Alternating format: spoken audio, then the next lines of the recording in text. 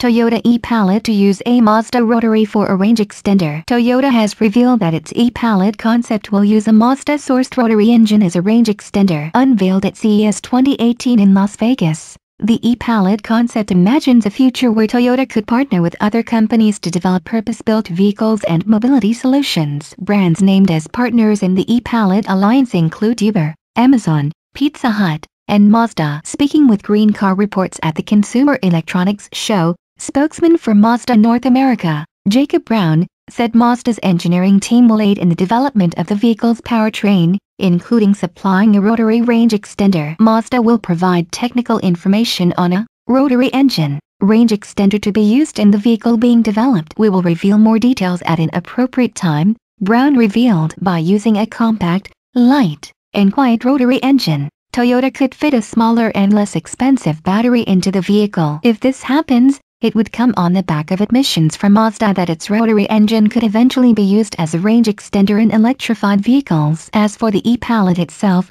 Toyota imagines the vehicle as being highly customizable and finding use as a package delivery van, ride-sharing vehicle, and a mobile e-commerce vehicle. Toyota intends on conducting tests with the vehicle in the early 2020s and could use it as a mobility service for athletes during the 2020 Olympic and Paralympic Games in Tokyo, Japan.